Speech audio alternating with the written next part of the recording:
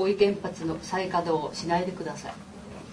昨年3月11日の東日本大震災と津波をきっかけとした東京電力株式会社福島第一原子力発電所の事故の結果福島県の広大な地域が高レ高レベル放射能で汚染されてしまいました。事故現場の実態はいまだに予断を許さず放射能の漏出も続いていてこの面でも私たちは日々不安を強いられているのです。大井原発の安全対策は事故を起こした福島第一原発にすら劣るとも聞いています。同原発の再稼働が強行されるならたくさんのものを失い今も苦しんでいる福島県民の心の傷に塩を塗るものです。私たちは断固として大井原発の再稼働を許しません。大井原発の再稼働をしないでください。よろしくお願いします。よろしくお願いいたします。よろしくお願いします。えっと本当はあの総理大臣自ら来ていただきたいところなんですがぜひあのストレートに伝えていただけるようにお願いします。汚染されたところに生きるっていうことはとても辛いです。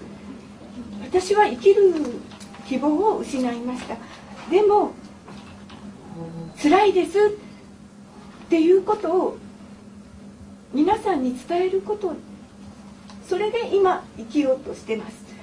皆さんにもこういう思いしてほしくないです。東京電力福島第一原発事故の責任を誰が取ったのでしょうか？誰が取りましたか？誰も取れてないと思います。私の責任を置いて原発を稼働させるなんていう野田総理の言葉を聞いた時に私は本当にこの人は別の世界に住んでるんだと思いました。一体何を言ってるのか全く理解できませんでした。再稼働なんていうのは本当にありえないんですよ。もうこれは生きてない思いを押し殺して一生懸命語っている人のその気持ちを心でしっかり受け止めてそのしっかり受け止めたものを願いします。子供をできるだけ安全な食事で育てたいと思いまして有機農業を始めました。でもう全てあの田んぼも畑も汚染されました、えー、毎日食事の支度をしながら子供たちにその何べくれるそういう野菜を食べさせることに非常に迷いがあります。将来何か影響が出るんじゃないかと分かりますかこの気持ち。皆さんはどのくらい福島にいらっしゃいましたか？どのくらいあの何マイクロシーベルトの空気を吸いましたか？野田さんは何回いらしたんですか？何時間過ごしたんですか？私たちは毎日毎日そこで空の上をヘリコプターが飛ぶたびにまた原発で何かあったんじゃないかって畑仕事しながら本当に毎日不満でしょうがないんです。こういう状態なんですよ福島の人間は。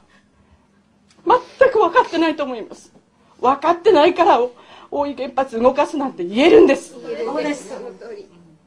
どうして分かろうとしないんですか？福島を見に来ないんですか？野田首相はこの国のリーダーだそうですが私は絶対人間的に許せません。間違ってると思います。どうぞそのことをお伝え願いたいと思います。しっかり伝えてください。お願いします。私はもうあれから子供のことが頭にありますから音楽が聴けません。ずっと聴けません。常に緊張した状態で精神的にも肉体的にもいます。で私自身は6月の下旬あたりから次から次にいろんな症状が現れました。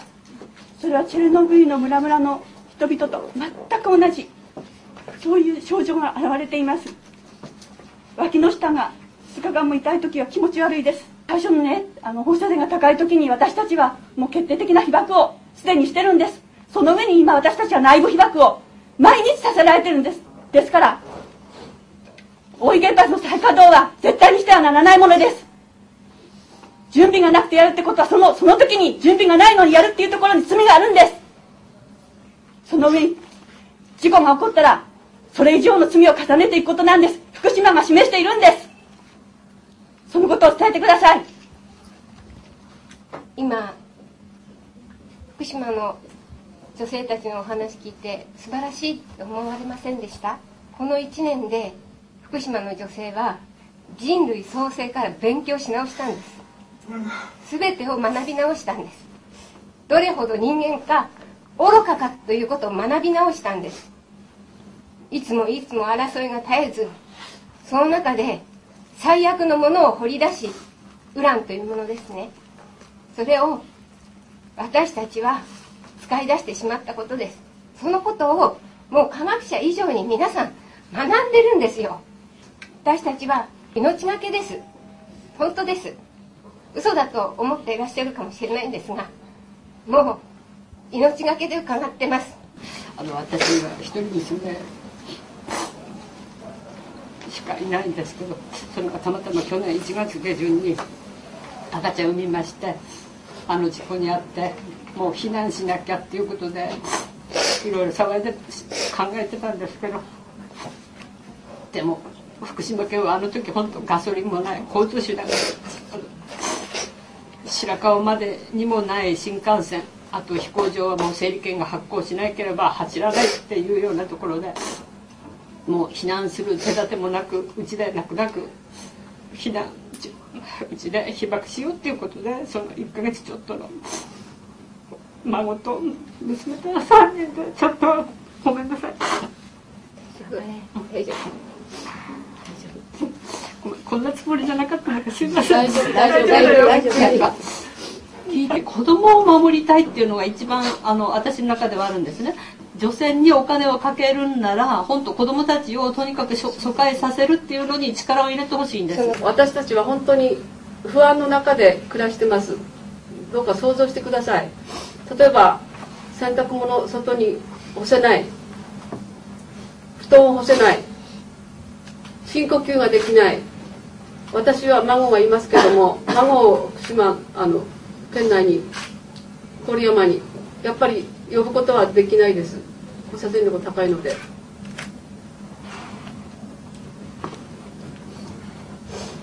そそういう中でねプールがまた始まります。プールにいっぱいこうついてるんです。あのコンクリート。のあれは取れないんです。ちょっとぐらいガガガやったって。そこにはいっぱいセシウムが溜まってます。で水自体が怖いし。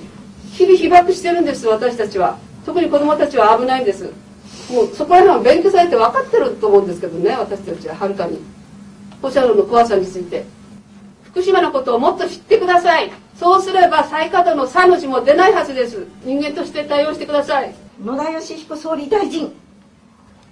あなたはどこを向いてるんですか？どこを向いて政策を決めようとしているんですか私たちを少しも見ていません。経済優先安全だからという薄っぺらな言葉一つでまた再稼働しようというこの薄っぺらな総理大臣許せません。責任を取る。最終責任は私ですとおっしゃいました。最終責任って何ですか？防災を出すことだけですか？後の責任はどう取るんですか？終身刑を受けますとまで言えますか？不誠実極まりない総理大臣だと私は思ってます。まあ、まあ、まず最初に、まあ、皆さん今日の本当に平日の忙しい中ですね。あの、まあ、予想書をお持ちいただきましてありがとうございましたまああの一人一人のですねあの、まあ、心から命と叫びっていうんでしょうかね。お話を聞かせていただきました、まあ、できるだけあの私どもも整理してですね皆様の熱い思いをですねこの要望書と一緒にですね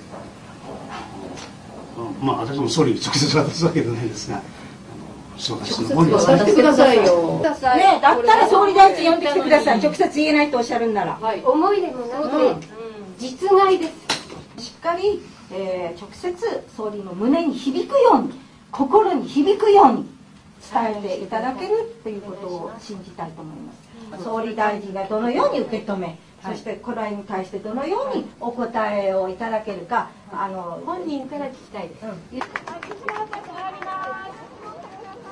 皆さんお待たせしました。いよいよ第2の時間です。どんなことを想像しても自由なんです。いろんなことを感じながら LINE しましょう